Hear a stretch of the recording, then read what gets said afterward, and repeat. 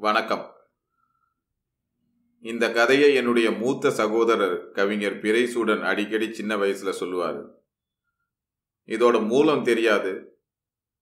இருந்தாலும் உங்களுக்காக கொஞ்சம் கற்பனை கலந்து. மூன்று கால் ஊன்றி மூவிரண்டு போகையிலே. நகைச்சுவை குட்டி கதை எல்லாரும் ஒரு ஊர்லன்னு ஆரம்பிக்கிறாங்க. நம்மளும் அப்படியே ஆரம்பிப்போம். ஒரு ஊர்ல ஒரு வயசான புலவர் இருந்தாரு. அவருக்கு தான் தான் பெரிய கவிஞர்னு எப்போதும் நினப்பு. யார்கிட்ட பேசினாலும் கவிதையிலேயே பேசுவார். யாருக்கு பதில் சொன்னாலும் கவிதையிலேயே சொல்லுவார். யாராவது புரியலைன்னு சொன்னாங்கன்னா இது கூட தெரியாதா? அப்படின்ட்டு விளக்கம் வேற சொல்லுவார். இப்படியே எல்லாரையும் போட்டு கொல்லுவார். பல பேர் அவரை பார்த்தாவே விழுந்தடிச்சு அந்த பக்கமாக ஓடிடுவான். ஒரு நாள் இந்த புலவர் வந்து ஆத்தங்கரைக்கு போகிறாரு போகிறப்ப காலில் நெறிஞ்சு முள்ளு குத்திடுது. நெறிஞ்சு முள்ளு பார்த்தீங்கன்னா சின்னதாக இருக்கும். அஞ்சு முகம் இருக்கும். குத்துனா கால் ரொம்ப அரிக்கும். புலவருக்கு கால் ரொம்ப அரிக்குது. என்ன பண்ணுறதுன்னு தெரியல. அப்போ அந்த பக்கம் ஒரு வைத்தியர் போகிறாரு அவருக்கும் இவருக்கும் ஏற்கனவே ஏழாம் பொருத்தம்.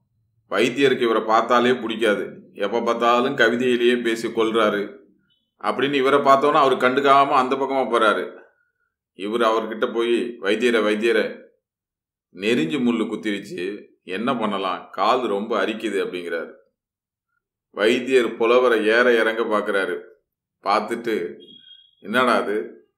முள்ளு குத்துனோன்னு கவிதையை காணுமே இன்னைக்கு? அப்படின்ட்டு. இவர் அவருக்கு வைத்தியம் சொன்னார்.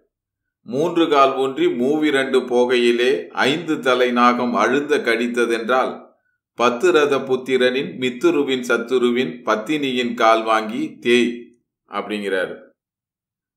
புலவருக்கு ஆஹா நம்ம தான் இவ்வளோ நாள் எல்லாரையும் கொண்டுகிட்டு இருந்தோம்.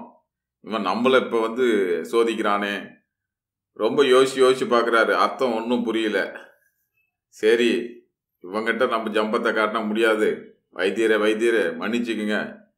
வைத்தியம் என்னான்னு கொஞ்சம் புரிகிற மாதிரி சொல்லுங்கள் காலை வேற ரொம்ப அரிக்குது அப்படிங்கிறாரு. அப்போ வைத்தியர் விளக்கம் சொல்கிறாரு மூன்று கால் ஊன்றி மூவி ரெண்டு போகையிலே. இவர் கம்பு ஊனிட்டு மூணு கால் ஊனிட்டு மூவி ரெண்டு மூவி ரெண்டு ஆறு ஆத்துக்கு போகையில் ஐந்து தலை நாகம் அழுந்த கடித்ததென்றால் ஐந்து தலை நாகம்னா நெறிஞ்சு முள் நல்லா குத்திடுச்சுன்னா பத்து ரத புத்திரனின்னா தசரதனோட பையன் ராமன் பத்து ரத புத்திரனின் மித்துருவின் ராமனோட மித்துரு சுக்ரீவன் மித்துருவின் சத்துருவின் சுக்ரீவனோட சத்துரு எதிரி வாலி சத்துருவின் பத்தினியின் வாலியோட பத்தினி வந்து தாரை பத்தினியின் கால் வாங்கி தேய் அப்படிங்கிறாரு. தாரையில் கால் வாங்கினா தர தரையில் போட்டு தேய்யா நெறிஞ்சு முள் குத்துனா வைத்தியம் ஒன்றும் கிடையாது தரையில் தான் போட்டு தேய்க்கணும் அப்படின்னு சொல்லிட்டு போயிடுறாரு. புலவருக்கு மூஞ்சி போன போக்க பார்க்கணுமே. அதுக்கப்புறம் ஊரில் யார்கிட்டையுமே கவிதையால் பேசுகிறதே நிப்பாட்டிட்டாரு. வணக்கம்.